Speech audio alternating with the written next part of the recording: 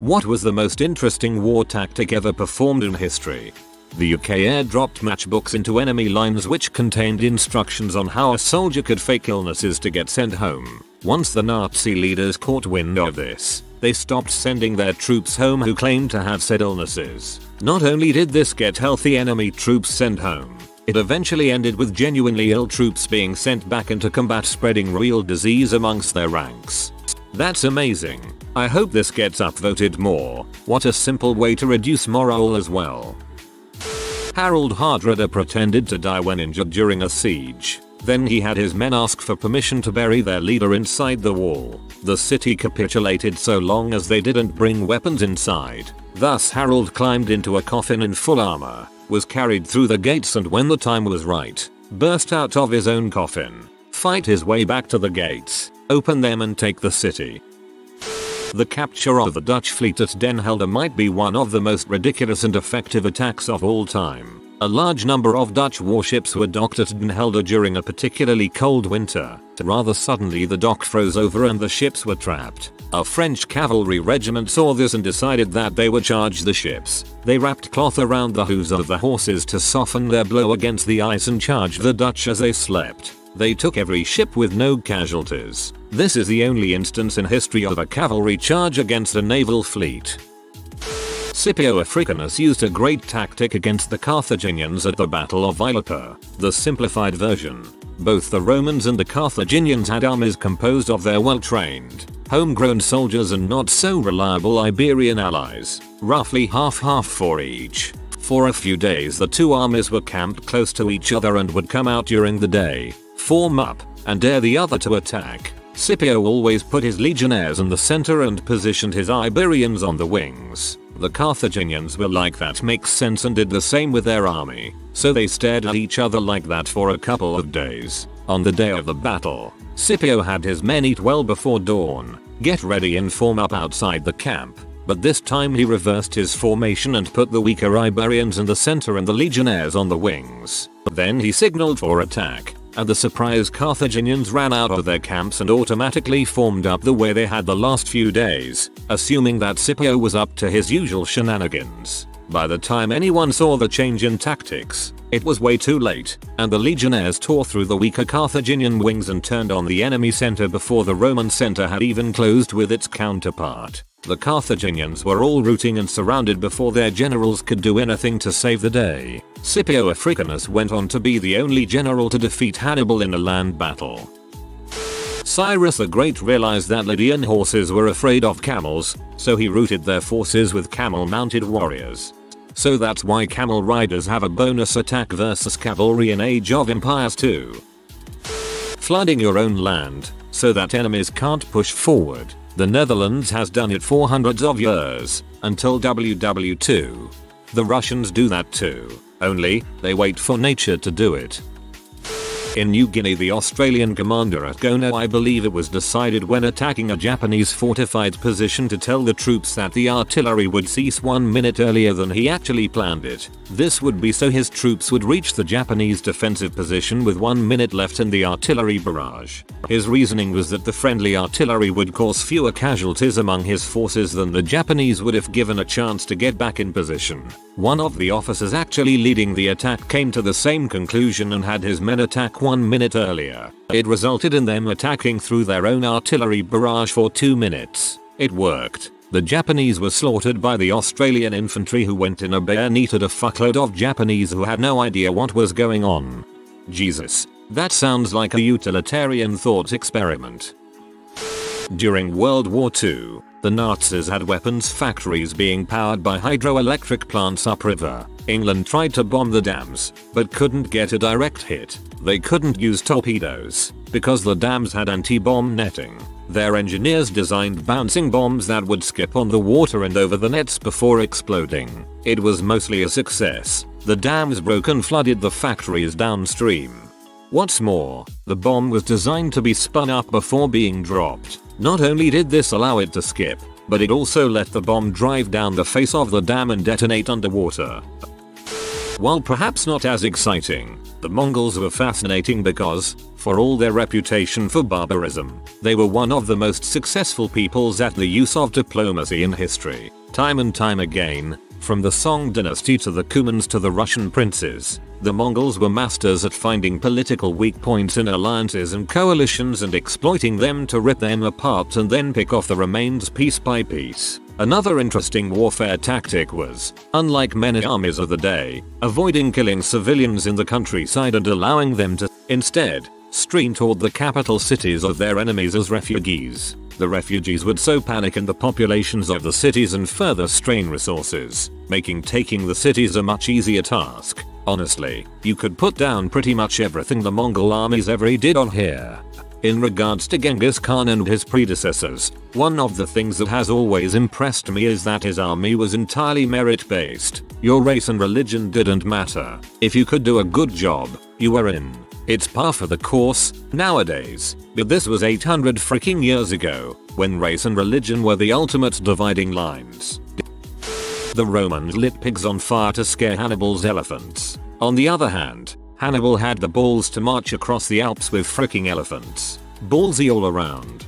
Not only did Hannibal climb the Alps with elephants he climbed the Alps with elephants during winter in 218 BC to give the Romans no rest and no time to train new legions. To say he hated the Romans is one of the biggest understatement in history.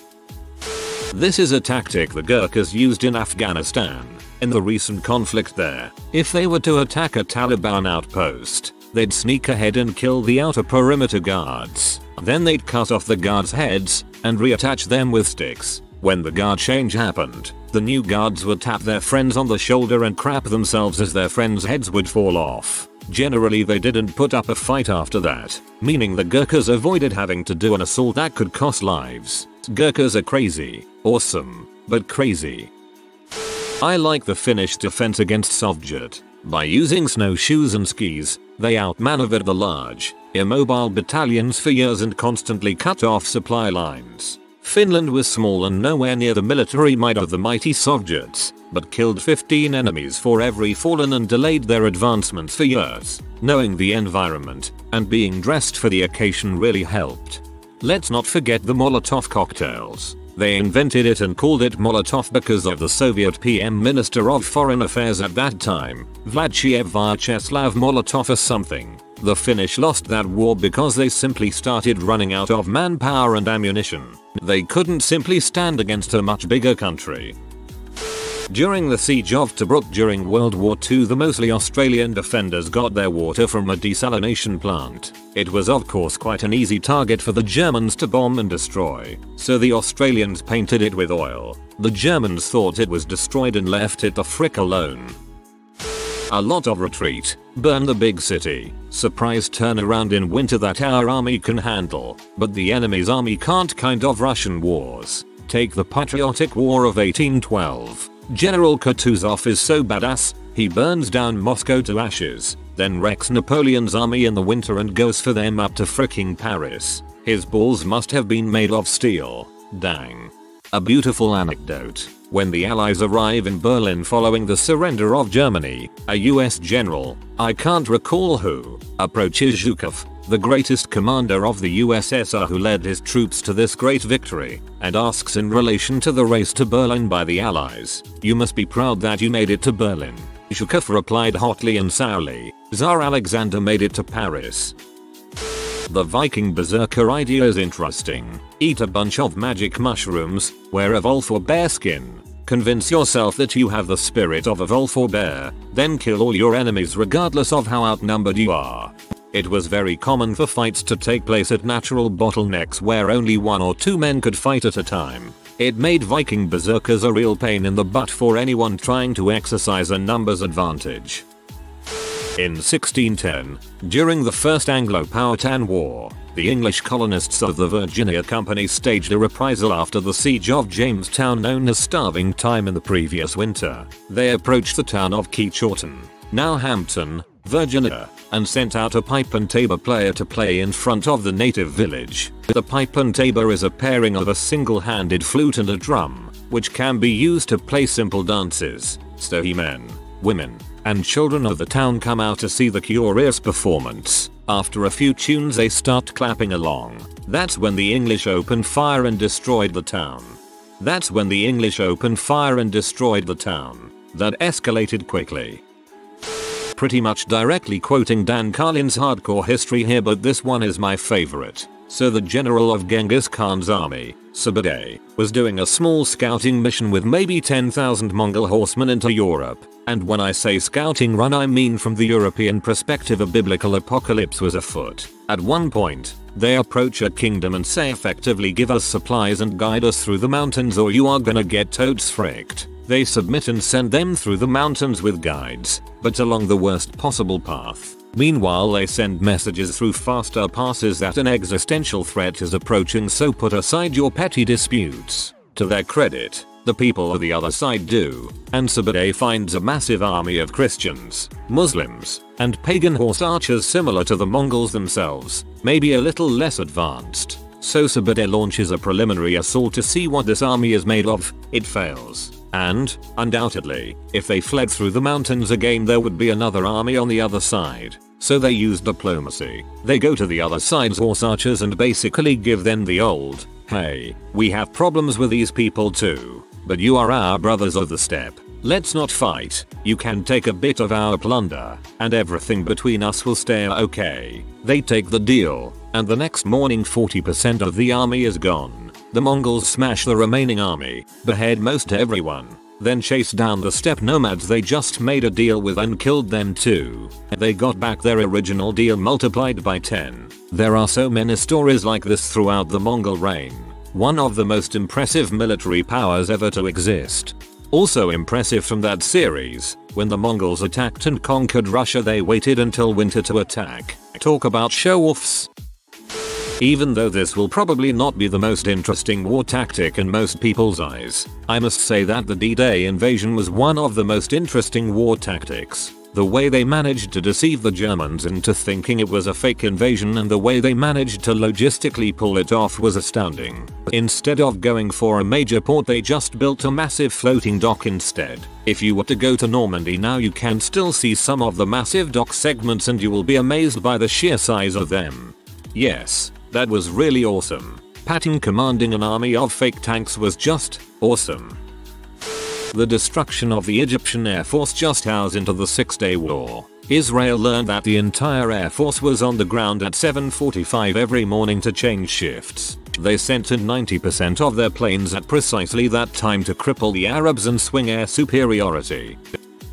Sam Houston had a very interesting tactic at San Jacinto. He attacked midday across an open plain, but he did so during the Mexican siesta and charged across the plain. His bold plan worked even better than he thought because they Mexicans were camped in front of a marsh, but the Texans were upon them before they even woke up and a solid chunk of Santa Anna's army died when they retreated into the marsh. The battle ended after only 18 minutes and less than 20 Texans died. Normally this would have been suicide, but it got Texas its independence. Skanderbeg of Albania would gather goats or other horned animals and hang candles from their horns. During a night raids on Ottoman forts he would send a herd of animals the way of the fort and the guards would believe an attacking force is approaching. They would shoot arrows and send men to deal with the threat, while all attention was towards the animals. Skanderbeg and his force would seize the fort from another angle, capturing it. Up there has to be the realization in 1944 that it made more sense to smash an aircraft into a ship rather than trying to use it to put bombs on that target. At least when your pilots have about 5 hours of flight time, if that. Operation Mincemeat in World War II. The Allies dropped a corpse in the water, but dressed him up as a spy with a fake letter giving orders that the Allies would attack Greece rather than Sicily. This letter made it all the way to Hitler and he diverted something like 9 panzer divisions to the coast of Greece. There is a great podcast about this on stuff you should know. In 1453 during the Battle of Constantinople, Sultan Mehmed II ordered his ships moved overland on Greece logs to circumvent a massive chain that the Romans had placed to block a key waterway. That Chinese dude who psyched out an opposing general by opening the gates to his town and sat there playing a flute. When Zhuge Liang, a tactician who lived during the Three Kingdoms period, 220-280 AD. Died. He was in the middle of a campaign against another kingdom and a war of attrition against the opposing general, a guy named Sima Yi. Zhuge Liang. You may know him as the Chinese general who psyched another army out by opening the city gates and playing the lute. Knew that Sima Yi would never attack as long as he was alive. But once he died Sima Yi would jump his troops and overwhelm them with sheer numbers. So in order to ensure the safe retreat of his army, Zhuge Liang came up with a plan. Sima Yi hears that Zhuge Liang has finally kicked the bucket. Great, he thinks. Finally I can go kill off the rest of his army so Sima Yi takes his army and launches an all-out attack. Zhuge Liang's army retreats until they reach a mountain pass, when they suddenly turn around and attack. Sima Yi is immediately suspicious, so he looks up and sees Zhuge Liang sitting high up on a mountain, with his trademark white fan. Sima Yi freaks the frick out. Holy crap. Zhuge Liang was only pretending to be dead so he could set up an ambush. He orders his troops to retreat and they don't stop running for, like, 10 miles. Fun story, Zhuge Liang was actually dead. Before he died, ordered a wooden effigy of himself to be made and placed on the hill as his troops retreated, knowing that Sima Yi would freak out and leave if he thought that Zhuge Liang was still alive. Sima Yi's retreat gave Zhuge Liang's troops enough time to retreat back to their home base. Also, from then on a popular saying was created, the dead Zhuge scared away a living Zhongde. Zhongde was another name of Sima Yi. Zhuge was possibly the biggest troll in history. In feudal Japan, an army of samurai once laid siege to a ninja fortress for several months. Sieges take long as crap because, unlike in movies, it usually boils down to the attackers camping outside of the castle until the people inside starved to death. However, the ninjas actually sneaked out of their fortress early on in the siege. A small number of them stayed behind, loaded with a ton of provisions that would last a while, and made it look like the fortress was full of activity. The main group of ninjas, hiding in the forests nearby, began picking apart the samurai war camp over the course of months. They sneaked in and poisoned communal water and food. They set fire to clusters of tents during a dry summer. They broke the small dam storage built to hold the army's crap in the latrine system. They placed dead animal carcasses in key points to spread rats and plague. This went on for months, the samurai army rotting away from the inside, camped outside of a virtually empty castle. An army of samurai once laid siege to a ninja fortress. Sounds so epic. I've always been a fan of Russia's tendency to just retreat into Siberia whenever a European nation tries to invade them.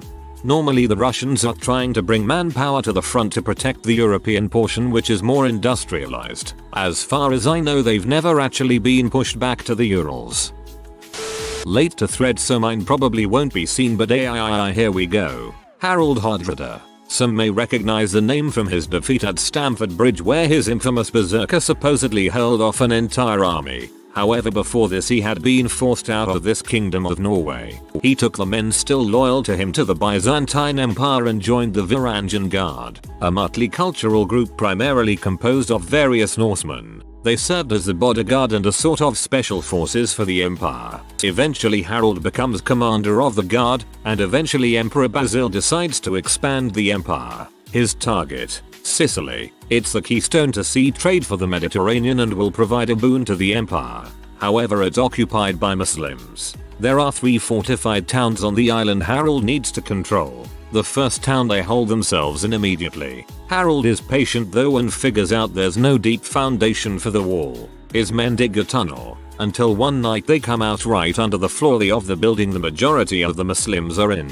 A quick attack and one town down. Town 2, a game they wall themselves in. The gates are small but strong, too risky to attack. Again Harold is patient. He makes a greater show of acting ill. After a few days his men approach the wall and announce he has died. They ask to bury him on the ancient church grounds in the city. The Muslims are intrigued at having a well-known warrior buried in their land. They say they will allow it if his procession comes unarmed. He hides in a coffin with a handful of weapons. Soon as they open the gates, he pops out. The men grab the weapons and the rest of the soldiers rush through the gate. Two down one to go. Third town. Again walls are high. Door is strong. Again Harold is patient. He spends days just watching the town. Then he figures it out. All the buildings I'm in the town have thatched roofs. He notices many birds roosting in or around the thatch. He orders his men to start trapping the birds. After they have a small flock, they tie kindling to the birds and light the kindling. Flaming birds fly right to their nests in the thatch roofing and light the town on fire. The remaining Muslims flee the fire, opening the gates wide. With little actual combat Harold has taken the island with little more than a tunnel, some birds, and a coffin. Here's 3 from Belisarius. Climb through the old aqueducts and capture Naples. Light too many campfires. Classic, not exclusive. Pretend to accept your enemy's offer of kingship, then turn around and capture them all. Used to capture Ravenna. Between the Six Day War and the Yom Kippur War, Egyptian soldiers would practice crossing the Suez Canal a lot. The Israelis just came to expect it after a while, so when they actually crossed the canal into the Sinai, Israeli forces were caught completely off guard. Blitzkrieg Doctrine. It completely swept Europe off of its feet. Air formations overhead, bombers and ground attack aircraft destroying enemy armor and key target points, and then ground forces steamrolling through the fields removing any remaining opposition. It was fast, deadly, effective, and it staggered most of Europe within the first stage of World War II. In the Second Crusades, a big part of the reason why Saladin was able to destroy the Christians was because of water availability. Kingdom of Heaven shows a short version of the Battle of Hattin. Basically the Muslims controlled the water supplies in the region from a lake behind their battle lines, poisoned any wells they could find, and burned off grass to make it even drier. They forced the Christians up onto a hill and made them fight a war of attrition that was inevitably lost due to the men's thirst. The Scots had this tactic where they'd plan an ambush at a hill, wait up top for their mark, take their kilts off and run down the hill screaming with their junk out. By the time the person they were attacking realized what the heck was happening, they were dead. Doesn't work so well today. Man I remember in history class we learned some Canadian commander rounded up a bunch of native Indians and made them run around in a sparse formation outside an American fort. The American commander thought there were thousands of Indian forces and surrendered. We really messed with you guys in the 1812 era. The rest of Canadian history was pretty boring, up until the world wars, all fur trade and messing with the French.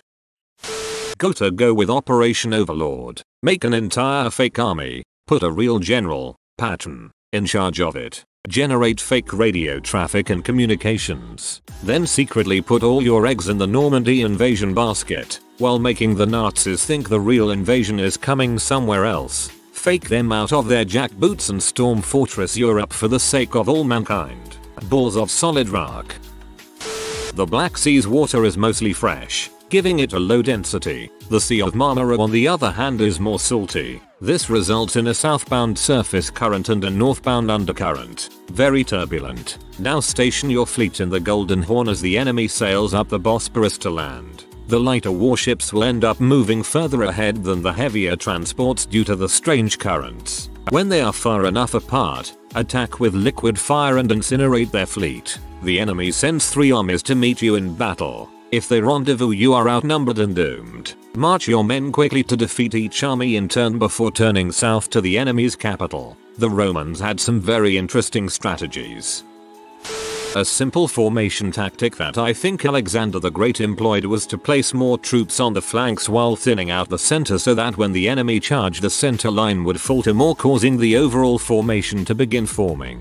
A horseshoe lie you around the enemy's line, effectively performing a pincer maneuver. Once the trap was set cavalry flanked the enemy from behind. This was counterintuitive to generally accepted tactics of the time of bolstering the center line with more troops. Works great in the Total War games. If you are new to the channel, you can subscribe. I publish new videos every day. Until then, check another video.